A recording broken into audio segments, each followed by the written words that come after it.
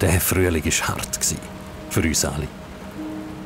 Wir mussten daheim bleiben, haben unsere Freunde und Familie nicht sehen, sind eingesperrt. Und wir haben gemerkt, was wahre Freiheit bedeutet.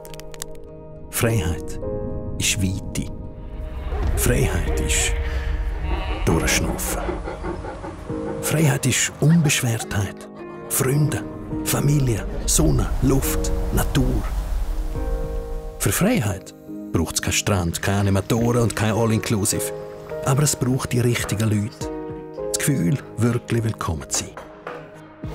Essen, das einfach gut schmeckt.